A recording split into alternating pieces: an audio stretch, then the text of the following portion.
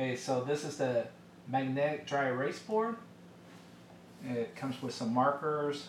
Here's to erase it. Comes with magnet. And here's the back. And not sure what this is. It might be plastic or it might be uh, metal.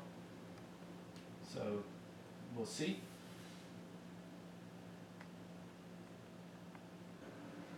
Okay, so here's a dry erase board on the wall. And so you just want to make sure that to put this holder and you clip it until you hear a uh, click sound. And of course it'll hold all the stuff you need. And it comes with uh, four magnets. Let's get put it right here.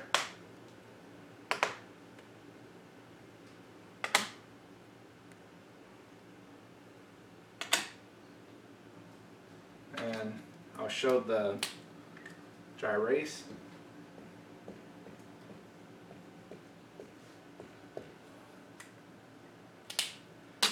And I'll erase it so you can see how clear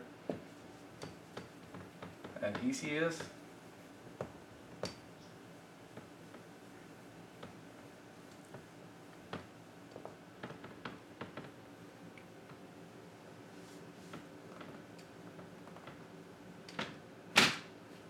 go.